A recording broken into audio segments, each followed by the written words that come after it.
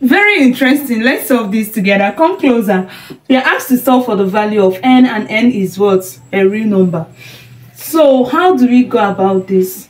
First of all we need to bring out a constant and the only way to do that is it's not the only way but let's do it this way. Let's divide through by 6 to the power of n okay? So if we divide this by 6 to the power of n is equal to what? Sorry. And also divide this by 6 to the power of n we will have what? 9 to the power of n minus 4 to the power of n divided by 6 to the power of n is equal to 1 okay now recall that a minus b rest um, all over c is same thing as a over c minus b over c okay? So they are sharing the same denominator. Let's distribute the denominator for both of them. So if we do that we will have 9 to the power of n over 6 to the power of n minus 4 to the power of n over 6 to the power of n is equal to 1. Okay, also, let's recall the law of indices that states that a over b raised to the power of n is equal to a to the power of n over b to the power of n. Okay, so this is already in this form, so let's put it in this form so if we do that, we will have 9 over 6 raised to the power of what? n minus 4 over 6 raised to the power of n. Okay, so let's reduce this to its lowest term. When 3 divides 9, we are going to have what? Um, 3. If we divide 6, we are going to have 2 raised to the power of n, right? Minus this place when 2 divides 4 you have 2 when you divide 6 you have 3 so you have 2 to the power 2 over 3 to the power of n. This is equal to 1 this is equal to 1 all right. Now looking at this there is something we can actually do so that we'll have the same thing here and here. And we can name whatever we got a variable and then solve for it okay? So um we can change this to 3 over 2 but that means we are going to introduce 1 over yes because a over b okay is same thing as 1 over b over a right? So that means we can rewrite this as so if we write 3 over 2 raised to the power of n minus 1 over what? 3 over 2 raised to the power of n is equal to 1 okay at this point we have something the same thing here and here so we can call it a variable. So let 3 over 2 to the power of n be equal to y okay? So if we say that that means our equation this equation becomes y minus 1 over y is equal to 1 okay? Now if we solve this if we solve this this is y over 1 now the LCM of this is what? Y. Now when 1 divides y, you have y. y times y is y squared. Minus when y divides y, you have 1. 1 times 1 is 1. Is equal to 1. Alright. So this same thing as 1 over 1. Now let's cross multiply.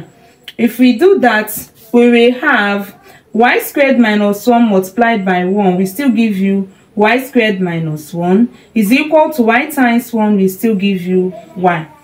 Okay, now let's bring this in because you can see that we have formed a quadratic equation. So if we bring this plus y, uh, plus y in, it becomes minus 1, okay? Minus y. So we have y squared minus 1 minus y is equal to 0. Now let's arrange this very well. If we do that, we have y squared minus y minus 1 is equal to 0.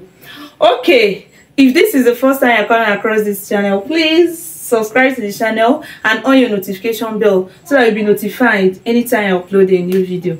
Okay, now what do we do next? Mm, let's use the quadratic equation formula and solve for y. Alright, recall that we are not looking for the value of y, rather we are looking for the value of n. Okay, So um, the quadratic equation formula states that your y, since y is what you are looking for, is equal to minus b plus or minus square root of b squared minus 4ac all over 2a okay? So our in this case now the coefficient of y squared is our a which is 1 coefficient of y is our b which is minus 1 and coefficient of and our c is the constant which is minus 1 so let's substitute this into this equation to get the value of what? Y. So our y is equal to minus b. Minus minus 1 will give us plus 1 plus or minus square root of b squared that is minus 1 squared which will give us 1 um minus then 4 multiplied by a our a is 1 multiplied by c our c is minus 1 divided by 2 multiplied by a which is 1 still give us 2 right?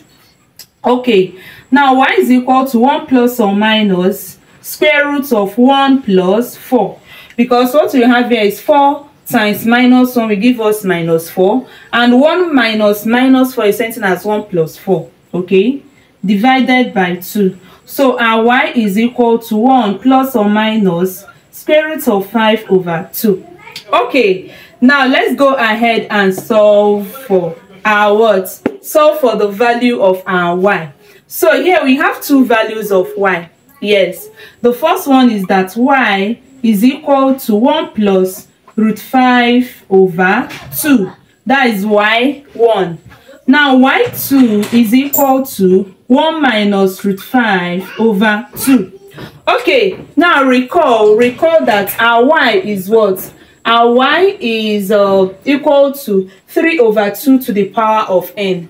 Okay? So for y1 for y1 we are going to replace this y now with 3 over 2 to the power of n.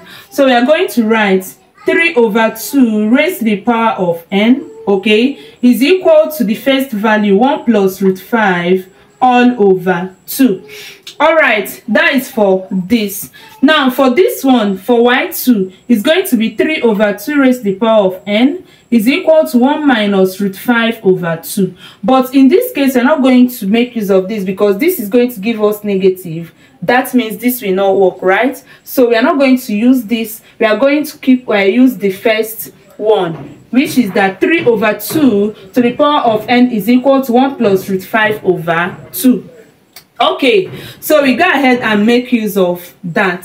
So we have 3 over 2 raised to the power of n is equal to 1 plus root 5 divided by 2 so let's introduce log to both sides of this equation. And the most uh, the smartest way to go around this is find a way to cancel out whatever we have here and get n. And the only way to do that is if we introduce log to base 3 over 2 do you understand? Now let's do this together.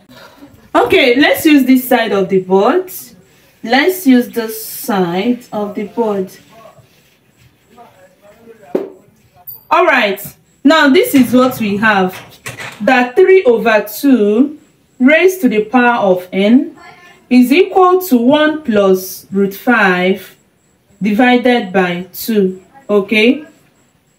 All right. Now like i said we are going to introduce log to base 3 over 2 okay? Of 3 over 2 to the power of n. 3 over 2 to the power of n is equal to log to base 3 over 2 of what? 1 plus root 5 over 2 all right.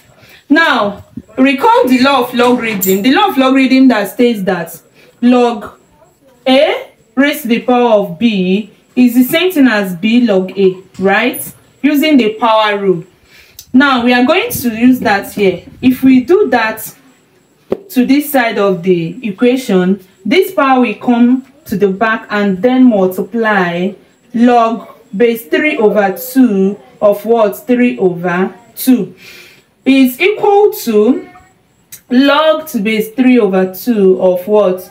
1 plus root 5 over 2 all right.